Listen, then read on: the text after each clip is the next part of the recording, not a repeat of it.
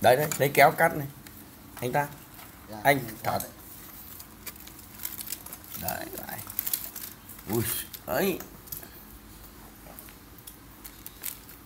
Đuổi nó giấu với ăn không Mình giấu rằng gà này gà ngu. Đùi đi nằm trong bụng. Thôi cứ để lại cho nó nguội tí đã. Thôi nào máy đây mưa gió giờ rời Đó. Nha. Mẹ nghe do, thời tiết. Ừ. đây không phải do tôi đâu do anh Hoàng.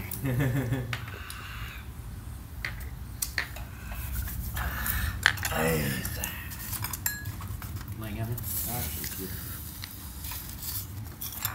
đây một mâm ờ, gà không mẹt gà đây. Năm món. Không có làm tiêu ạ 5 món. 570 nghìn.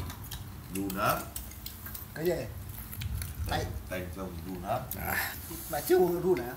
Đâu phải nạp vào nó mới hết run nha anh. Cái này là cái gì đây? Gà chiên. Gà chua ngọt đấy.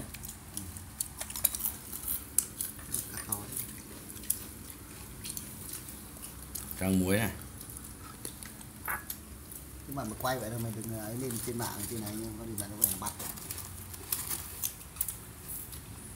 Hải Phòng từ sáng mai đi được ăn ờ, tại chỗ mẹ làm gì? Ăn 9 giờ sáng. Có văn bản gì đâu. Có văn bản.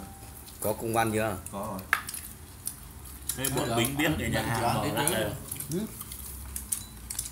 Hỏi mấy ông Bính mà bao giờ được mở quán mà anh anh chưa biết chưa có ấy. thì có văn bản bây giờ kìa cũng phải tháo quán cho dân người ta làm ăn đi rồi. chết quái mẹ ăn nơi không được là chết giả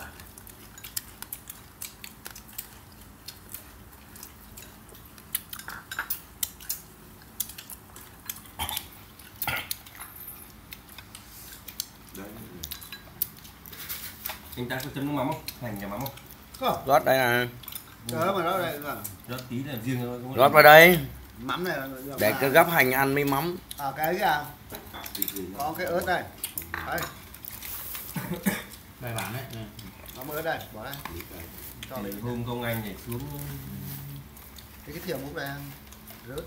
Ồ cái thìa đâu em? Đấy lại rớt ra đây. Thẳng làm Ừ, ăn rớt nhau lắm. không sao ạ. Đây đấy. Đâu, đấy đây. À, à. nó đau thì cắm đây nhỉ nhà bên tôi cái sắm đầy đủ.